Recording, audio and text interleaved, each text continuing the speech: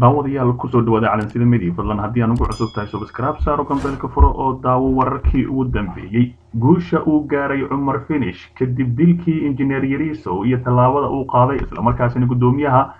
gobolka banaadir ahna duqa muqdisho ayaa waxaa la sheegay inuu guulo waaweyn ka geeray islamarkaasina gaaray islamarkaasina maamulkiisa iyo dowladda hoose xamar oo maanta arbaca ah arrimo xasaasiya soo bandhigay aqalka dowladda hoose ee xamar waxaa maanta oo arbacaha lagu soo bandhigay natiijada ka soo baxday baaritaan iyo dib u habeyn lagu sameeyey security vetin dhammaan shaqaalaha maamulka gobolka banaadir iyo dowladda hoose ee xamar ayaa la yidhi dib u habeynta waxaa sameeyey xafiiska agaasimaha guud ee amniga caasimadda ee maamulka gobolka banaadir islamarkaasina hoos yimaadaan cumar finish. Gudoomiye ku-xigeenka amniga iyo siyaasadda maamulka gobolka banaadir maxamed cabdulaahi tuulax oo jooga kulanka ayaa sheegay in dib u lagu sameeyey dhammaan shaqaalaha maamulka gobolka banaadir iyo dowladda hoose ee xamar ay tahay tii ugu horeysay ee nooceeda ah oo ay sameyso hay'adda dawli ah oo ka tirsan dowladda federaalk soomaaliya. Dib u habeyntan ayaa timid kadib dhacdadii foosha xumeed ee ka dhacday aqalka dowladda hoose ee afar iyo labaatankii julaay ee sannadkii hore ee dadka ku dhinteen ku dhawaad ee ku dhowaad dad aad u fara badan iyo duqii hore ee magaalada allah u naxariistay cabdiraxmaan cumar cismaan yariiso iyo mas'uuliyiin caan ah oo halkaasi ku halaagmay ugu dambeyntii guddoomiyaha gobolka banaadir ah duqa magaalada muqdisho mudane cumar maxamuud maxamed finish ayaa bogaadiyey howlaha ay qabteen xafiiska agaasimaha guud ee amniga caasimadda ee maamulka gobolka banaadir duqa caasimadda ayaa amray in dib u habeen shaqaalaha lagu sameeyo ay ku gudubto ay ka gudubto wejiga labaad ee baystu ayaa layidhi guddoomiyaha gobolka banaadir ahna duqa magaalada muqdisho cumar maxamuud maxamed cumar finish ayaa ballan qaaday in dib u habeen ay shaqaalaha lagu sameyn lagu sameyn lagu sameynayo. Ay noqon doonto mid joogto ah si loo xaqiijiyo amniga xarumaha maamulka gobolka banaadir islamarkaasina laga cabsi qabo in halkaasi sidii injineer yariis oo kale loo qarxiyo. Si kastaba ha ahaatee cumar finish oo digniin aad u culus qaba islamarkaasina feejignaan qaba ayaa markii uu tallaabo kamida qaadayo waxa uu sameeyaa ciidamadiisa gaarka u tababaran ee waardiyaha ah. Ayuu u diraa meesha uu fadhiisanayo ama uu ku khudbaynayo islamarkaasina si weyn loo baaraa miisaska hoostooda ee dhulka. Xataa meel kasta oo laysdhihi karo miina waa lagu aasi karaa islamarkaasina feejignaan xoogan ayuu ku jiraa. Si kastaba ha ahaatee cumar finish ayaa waxa uu leeyahay waa in maamulka amnigeeda si weyn loo sugaa si aysan u soo laabanin. Halaagii ka dhacay afar iyo labaatankii hore ee sannadkii la soo dhaafay. Dhinaca kale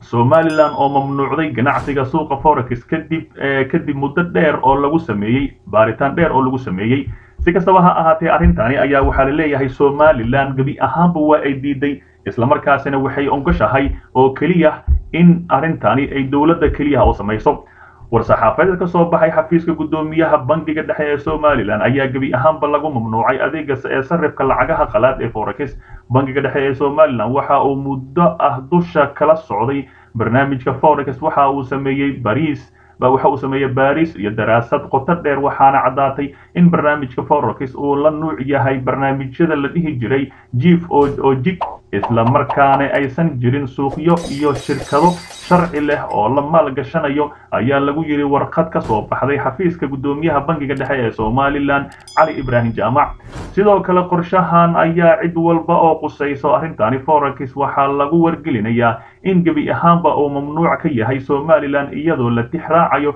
qodobka sagaashan iyo toddobaad ee farqadiisa koowaad ee dastuurka somalilan sidaa awgeed bangiga dhexe waxa uu ku wargelinayaa bulshada weynta somalilan hay'adaha kala duwan ee xukuumadda iyo cid kasta oo ay khusayso in barnaamijka forex mamnuuc ka yahay somalilan. Sida ku qeexan qodobka sagaashan iyo toddobaad farqadiisa koowaad ee dastuurka somalilan ayaa lagu yidhi qoraalka bangiga dhexe ka soo baxay. Ugu dambeyntii war-saxaafadeedka ka soo baxay xafiiska guddoomiyaha bangiga dhexe ee somalilan ayaa lagu yidhi annagoo ku kulsan bulshada weynta hay'adaha dowladda iyo ciddii kale ee ay khusayso ay fulin doonto qodobada kor ku xusan nagu guddooman ayaa layidhi naga guddooma salaan diiran. Si kastaba ha ahaatee muqdisho ayay ku rafanaysaa xilli caawa ama wakhtiyo hore la sheegayeen halkaasi ay ka jiraan qodobo xasaasi ah islamarkaasna la leeyahay forex ayaa la dhacay. Qodobada xiga ayaan ku soo tabin doonaa dhinaca kale saldhig qorshe cusub laga damacsan yahay oo laga hirgeliyey garoonka diyaaradaha ee beledweyne wasiirka amniga wasiirka amniga gudaha dowlad goboleedka hirshabelle maxamed cabdiraxmaan khayre ayaa maanta si rasmi ah xarigga ugu jiray saldhigga garoonka diyaaradaha ugaas khaliif ee magaalada beledweyne ee halkaasi lagu hirgeliyey. Wasiirka ayaa ka qayb galay munaasabada furitaanka xarunta saldhigga ugaas khaliif airport isagoo ay ku weheliyaan saraakiisha ciidamada amisom oo uu ka mid yahay taliyaha ciidamada amisom master agostina magnus mas'uuliyiin ka tirsan unisom taliyo ku-xigeenka booliska hirshabelle cornel xasan kafi iyo marti kale sharaf iyo marti kale sharaf kale ayaa layidhi wasiirka waxa uu sheegay in saldhiggii muhiim u yahay garoonka diyaaradaha beledweyne iyo dhammaan dadka ku nool magaalada beledweyne dhammaan madaxdii ka qayb gashay munaasabadani xariga looga jarayay ayaa waxa ay sheegeen in saldhigani ay wax weyn ku soo ka bedeli doono shaqada garoonka islamarkaasina dhammaanba laga maamuli doono gebi ahaan geyiga beledweyne ayaa la yidhi. Halkaa naga daawanaysa waa calansida media fadlan nala joogo subscribe saaro gambeelka furuda wararka u dambeeya. Dhinaca kale madaxweyne dani oo la yaab oo la yaab ku noqotay goobo ganacsi ah oo ku yaalla jabuuti islamarkaasina soo garmeeray madaxweynaha maamulka puntland mudane saciid cabdulaahi deni wafdi uu hogaaminayo oo ku sugan dalka jabuuti ayaa maanta ayaa booqday goobo muhiim ah oo ku yaalla dalkaasi sida degada doora dooraale degada ee dameer joog dameer joog xarunta xargaha qaada ee inter internetka xawaarihiisu dheer yahay fiber optic cable iyo aagga ganacsiga xorta ah ee jabuuti free ayaa la yidhi freesone islamarkaasina la sheegay in halkaasi oo si weyn ula yaabay madaxweyne dani iyo wafdigiisa waxay booqashadan xarumahan ee ku weheliya xubno ka tirsan golaha wasiirada dalka jabuuti iyo mas'uuliyiinta xarumaha oo booqday oo mar walba madaxweynaha warbixin ka siinaya xarumahaasi. Si kastaba ahaatee madaxweyne dani ayaa la yaabay ganacsigan aad ku ballaaran ay jabuuti leedahay islamarkaasina uu ka bixi waayo maasha allah jabuuti horumar bay gaartay. Ganacsigan aad ku wanaagsan ayay leedahay. Halkaa naga daawanaysa waa sida media fadlan nala joog. Kheyr ayaa qorsheynaya inuu isku shandheeyo wasiiro xilalkoodana weynaya islamarkaasina uu doonaya inuu iska shandhe isku shandhayn sameeyo. Halka qaar wasiirana halka laga eriyaya islamarkaasina xil la'aan ay meesha ku soo dhacayaan wararkii ugu dambeeyey ra'iisul wasaare xukuumadda federaalk soomaaliya mudane xasan cali kheyre ayaa qorsheynaya isku shaandhayn oo ku samaynayo golihiisa wasiirada sida maalmihii ugu dambeysay xanta ay socotay ilawareedyo ka tirsan xukuumadda ayaa xaqiijiyey ama warbaahinta qaar u sheegay in qorshaha uu ka socdo xafiiska madaxweynaha soomaaliya maxamed cabdilaahi farmaajo islamarkaana ra'iisul wasaaraha lala wadaagay uuna aqbalay islamarkaasina goordhow la sheegayo ama maalmaha ku soo aadan in halkaas lagu dhawaaqi doono sida xogta aan ku helnay ra'iisul wasaare kheyre ayaa maalmaha soo socda isku shaandhayn ku samayn doono golaha wasiirada waxaana jiri doono xubno wasiiro ah oo xilalka weynaya halka kuwa kalena iska bedelayo ama laysku bedelayo islamarkaasina sidii hore uu sameeyeyba laysku shaandhaynayo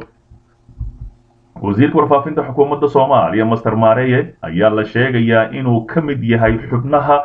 xubnaha xilkooda ku weynaya isku shaandhaynta la damacsan yahay inkastoo si dhab ah warkaasi loo dhiibin islamarkaasina aan la hubin islamarkaasina arrinta ay noqon karta in wasiiro kale halkaasi xilkooda weeyaan xukuumadda soomaaliya ayaa muddo hal sano ah u harsan tahay ama in ka yar hal sano waxayna mudaysatay dhaliilo iyo ammaan ku aadan howshii loo idmaday islamarkaasina intooda badan ay ku fashilmeen si kastaba ha ahaatee haddii ra'iisul wasaare kheyre oo uu isku shaandhayn sameeya maxay ka soo kordhin doonaan? Wakhtiga yar ee u harsan xukuumaddiisa islamarkaasina amni oo keliya ma sugi doonaan mase ololo kale ayay samayn doonaan. Si kastaba ha ahaatee warkaasi wararkii ku soo kordho dib ayaad ka daawan doontaan. Calansida media fadlan subscribe saaro gambeelka furo oo daawo wararkii ugu dambeeyey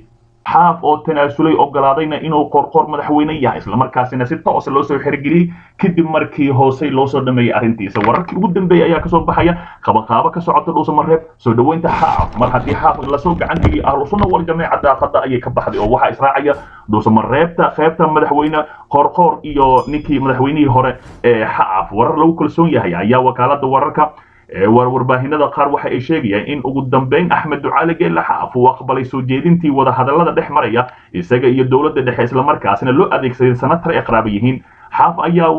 xaaf ayaa wararku ay sheegayaan inuu ogolaaday qorqor madaxweynaha loo doortay sharci yahay lagana sugayo inuu dhuusamareeb tago wakhtiyada soo aadan ayaa la yidhi xogtan oo dad xogtan oo lagu kalsoon yahay oo inoo sheegeen haddana waxaa xaaf la sheegayaa inuu lacag ka heli doono dowladda soomaaliya. Islamarkaasina hadda ka hor ay ahayd markii lacag loo ballan qaaday islamarkaasina la yidhi xilka wareeji kadibna uu sheegay ballantii ayay iga bixeen laakiin iminka waxaa la leeyahay sidoo kale lacag ayaa loo ballan qaaday. Ma heli doonaa? Mase waa lagu boodi doonaa? Wararka ayaa sheegaya in in qorshahan uu ka shaqeeyey ra'iisul wasaare xasan cali kheyre oo senator cabdi xasan cawaali qaybdiid oo ay isku beel yihiin lagu soo dabay islamarkaasina lagu soo xerigeliyey diyaargarow lagu jiro soo dhoweynta axmed geelle ducaale xaaf ayaa waxa uu ka soconayaa dhuusamareeb lama oga cadaadka waxaa la yidhi lama oga cadadka lacagta villa soomaaliya ay xaaf siinayso laakiin waxaa la sheegayaa in lacag aad u fara badan loo ballan qaaday ama la siinayo hordhacana la siiyey si kastaba ha ahaatee sidaana uu ku degay. Doorashadii laba isbuuc ka hor ee qoorqoor ku guulaystay waxaa sahlay dowladda soomaaliya oo dhaqaale badan ku bixisay. Haddii xaaf la soo xerigeliyana waxay ka dhigan tahay in sheekh shaakir isna loo soo jeedin doono. Xoog iyo xeelad wax noqonaya ee waxay toontaba ha ahaatee. Madaxweyne farmaajo ra'isul wasaare khayre waxay afduubeen hadda inay tagaan dhuusamareeb oo waxaa diidan ama waxaa la yidhi waxaa diidan in mar kale inta xisaan xiisada hani ay jiraan halkaasi imaan karin culimada ahlu sunna oo weli quwad muuqato ah ku leh deegaanadaasi walow dowladda qaybtooda bar lif ay ku sameeyeen islamarkaasina qaybta qorqoor waxa kumane ay tahay meel ammaana. Si kastaba ha ahaatee qayb markuu soo gaaro dhuusamareeb iyo soo dhaweyntiisa iyo wararkii ugu dambeeyay dib ayaa ka daawa doonta calansida media. Fadlan nala jooga xoga xasaasi ah ayaan idin soo wadnaa